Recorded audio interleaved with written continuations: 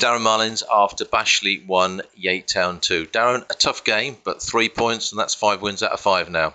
Yeah, I think the result is, is the most important thing.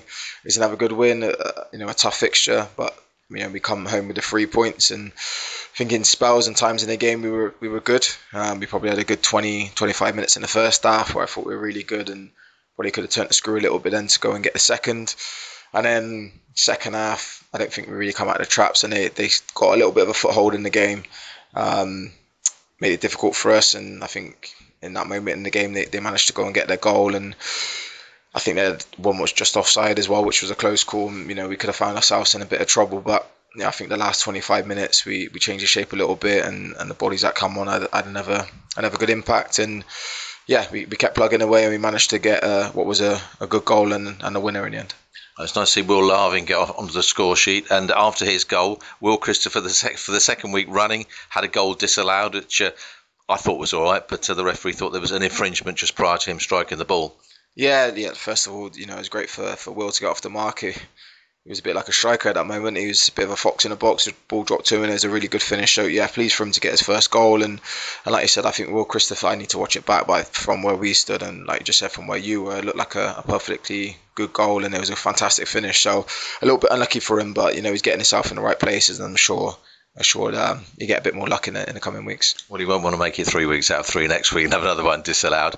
Um, they did come on strongly in the second half, and uh, you, you, weathered the storm quite, really quite well at the end. And then you made some two very, very good substitutions.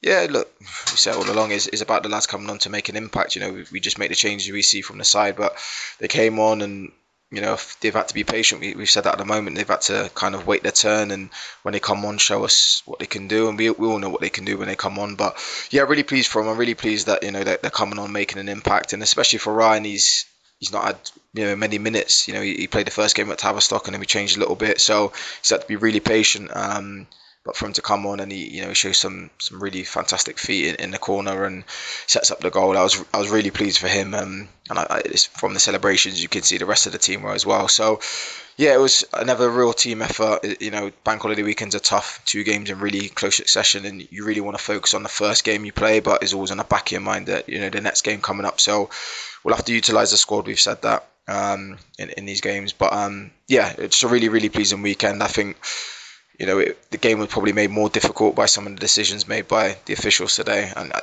I don't often like to talk about it, but it had a ma- major impact, and there was some really strange decisions, and not just for against us. It was against, you know, Bashley probably felt a little bit hard hard done by as well. But yeah, we felt like we were fighting up. We were a little bit up against it in, in two two camps today. But um, yeah, just really pleased, positive result. Um, we move on to Monday.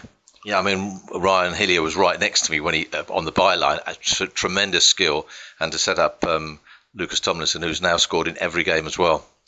Yeah, it's like you said, fantastic piece of skill. He's got that in his locker uh, for sure. And then to set up Lucas, I think that's that's five and five now, and he's yeah he's going about his business you know really well. He's he's getting chances. He's also creates a lot. Um, so it's not just about the goals for him, but at the moment he's popping up in the, in the right areas at the right time. So yeah, long may that continue and uh, day off tomorrow. Obviously, time to relax and uh, recuperate, and then it's back to it on Monday. And it'll be Mousehole a top on goal difference, then Yates a, a second, and uh, Exmouth a third. So it's second versus third. So hopefully that'll attract a big crowd, especially with you know not, no EFL games, no Bristol Rovers, Bristol City, and uh, hopefully many will come down here.